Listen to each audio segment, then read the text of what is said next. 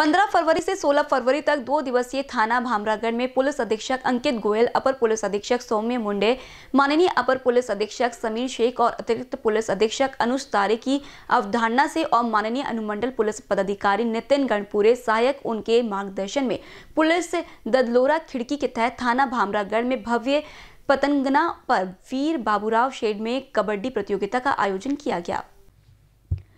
इस कबड्डी प्रतियोगिता के दौरान 15 फरवरी 2022 को 12 टीमों को पहली श्रृंखला में खिलाया गया और 16 फरवरी 2022 को दो टीमों को फिर से मौका दिया गया और कुल 14 टीमों को पहली श्रृंखला में खिलाया गया।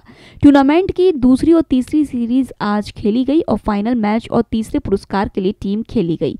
टूर्नामेंट की पहली विजेता टीम मऊजा लोक बिरादरी हेमलक्ष्य थी, दूसरी विजेता टीम मऊजा कियार थी और तीसरी विजेता टीम मऊजा कुमारगुड़ा थी। और टीम के दो खिलाड़ियों को सर्वश्रेष्ठ डिफेंडर और रेडर के रूप में चुना गया था। अनुमंडल पुलिस पदाधिकारी नितिन गणपुरे, सहायक पुलिस निरीक्षक किरण रस्कर और पंच की ओर से प्रथम पुरस्कार तीन हज़ार रूपए नगद दिया गया।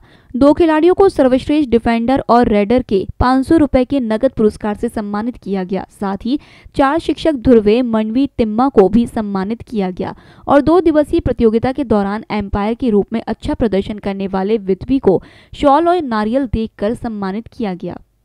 आज भी मुख्य अतिथियों, खिलाड़ियों और उपस्थित नागरिकों को नाश्ता, चाय और पानी उपलब्ध कराया गया। प्रतियोगिता के दौरान 400 से 500 नागरिकों की उपस्थिति के साथ वीर बाबूराव शेड में कबड्डी प्रतियोगिता का समापन किया गया। इस कबड्डी प्रतियोगिता के संचालन में थाने के अधिकारियों और अधिकारियों के साथ ही एसआरपीएफ के अधिकारी और अहम भूमिका पुलिस थाना भामरागढ़ ने निभाई। भामरागढ़ से बीसीएन न्यूज़ के लिए आसिफ पठान की रिपोर्ट।